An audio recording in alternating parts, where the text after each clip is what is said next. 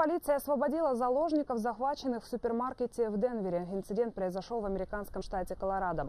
Сотрудники полиции прибыли на место происшествия, получив сообщение о подозрительной личности. В магазине они обнаружили мужчину и двух заложников. После переговоров злоумышленник согласился выйти из здания на улицу. При этом он прикрывался захваченной женщиной, которую вел перед собой.